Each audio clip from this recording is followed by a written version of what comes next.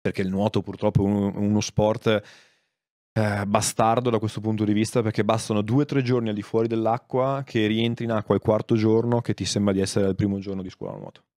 Perdi un sacco di sensibilità, ti muovi in una maniera che non ti sembra comunque più coordinata nella maniera corretta e questo mh, purtroppo ci obbliga a cercare, no cercare, a dover stare in acqua tutti i giorni comunque eh, possibili, a parte magari la domenica giustamente dove certo. anche noi stacchiamo, però tutti i giorni della settimana e magari qualche giorno anche con i doppi allenamenti sia mattina che pomeriggio in acqua fa sì perché questo è necessario per mantenere quello che è il livello proprio di sensibilità sempre alto. No?